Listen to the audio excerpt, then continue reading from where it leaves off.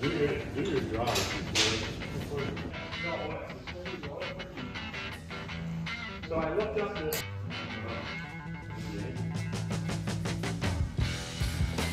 I'm just gonna take all the ones that I have. And then what, laying around? Fifty foot pounds.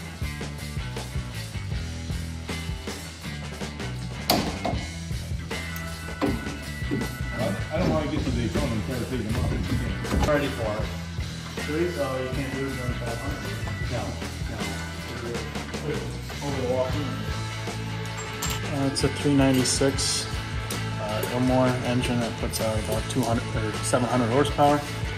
Um, primary uh, spec motor used in the Arca series.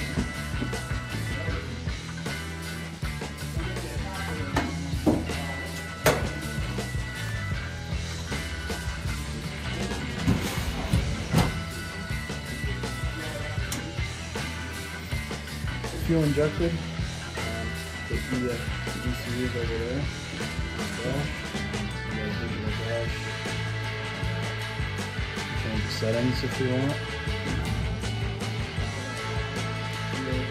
Pretty cool dash. Steering wheel, here's the kill switch. Uh, in case something happens, and then here's my push to talk, so I can talk to my spotter, crew chief, anything like that. There it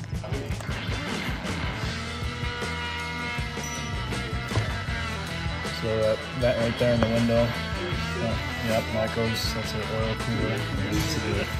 There's the- quick fuel system right here. Uh, it's where the dump can uh, pushes in for the live NASCAR pit stop. Uh, fuel dump cans here, uh, hold 11 gallons each.